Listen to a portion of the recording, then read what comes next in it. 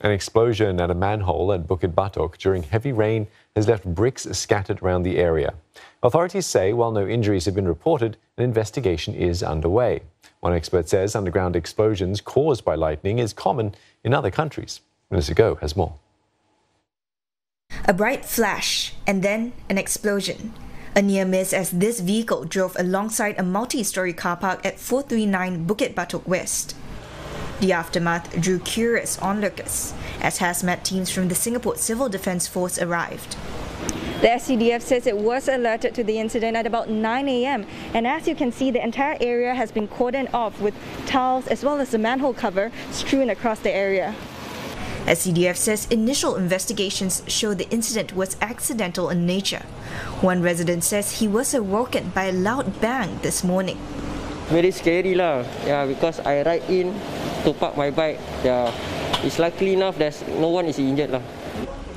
While the exact cause is still to be determined, one expert says it may be due to a lightning strike.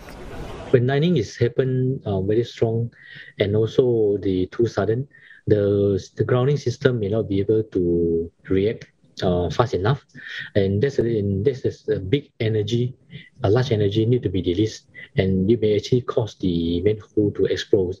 Grounding helps protect people and equipment against high voltage currents, such as that in lightning strikes.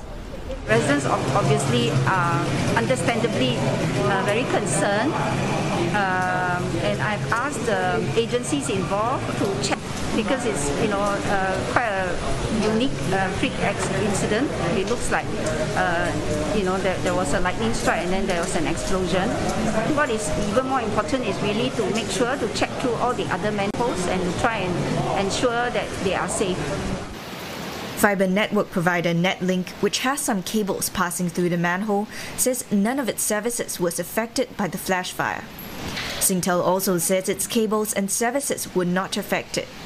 The town council says it will start reinstatement works once it's safe and viable to do so.